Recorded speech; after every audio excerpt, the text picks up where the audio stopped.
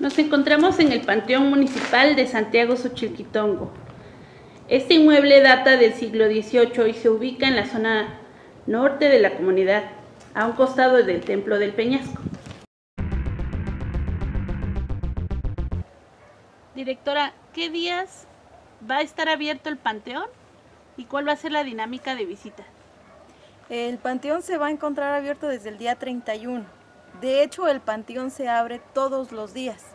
Eh, en estas fechas de Día de Muertos se va a estar abierto a partir del día 31, desde las 7 de la mañana hasta las 10 de la noche, comprendiendo de que familias pueden venir, ya sea a limpiar sus tumbas, a adornarlas, a estar un momento.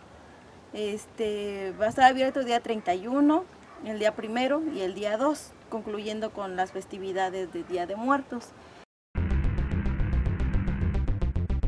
Directora, ¿cuáles son las medidas que se deben de tomar ante el coronavirus aquí en la época de muertos?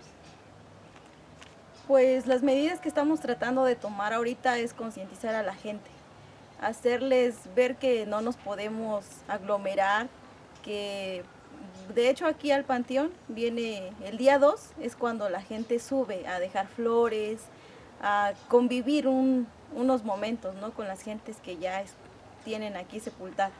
Entonces ahorita lo que estamos tratando de hacer es que el panteón va a estar abierto desde las 7 de la mañana hasta las 10 de la noche, esperando que pues vengan ¿no? a distintas horas del día para que no exista esa aglomeración.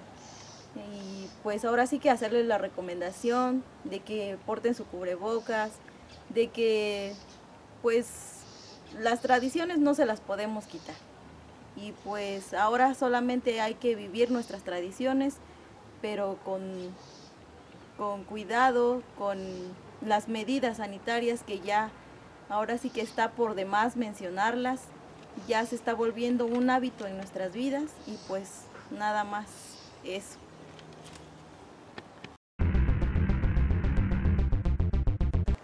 Directora, sabemos que van a hacer un tequio aquí en el Panteón Municipal. ¿Qué día va a ser? ¿Quiere hacer alguna invitación? Sí, claro que sí.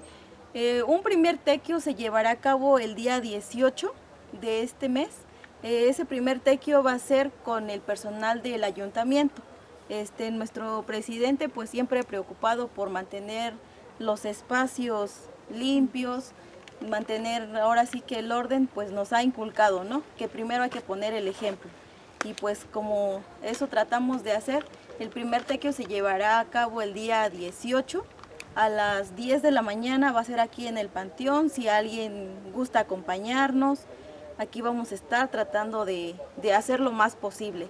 Un segundo tequio será el día 25 de este mes, en ese tequio se pondrán anuncios en los altavoces para hacerle la invitación a todo el pueblo para que asista, y pues esperemos y no solamente sea en estas fechas, sino que todos los días del año nos demos un tiempo para venir, hacer limpieza a las tumbas de nuestros familiares, este, pues ahora sí que mantener limpio ¿no? el lugar a donde ellos ya descansan. Igual pues se encuentran basureros a la orilla del camino para que pues ahí depositen su basura y pues mm, sería todo. Muchas gracias, directora. ¿Qué nos sugiere para tener una celebración bonita en este año de pandemia? Buenos días. Es un gusto encontrarme de nuevo en esta población que tiene grandes atractivos naturales y culturales que a la cual le tengo un profundo cariño. Quiero reconocer el esfuerzo de toda la población y de sus autoridades en la conservación y también en la difusión de estas fiestas de muertos.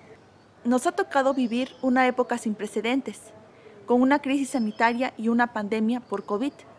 Esto limita nuestras acciones presenciales.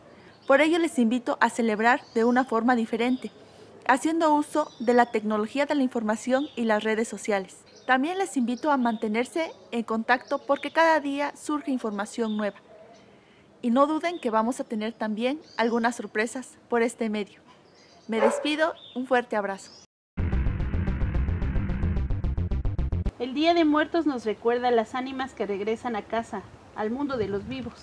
Hagamos de esta festividad una festividad responsable. Hasta pronto.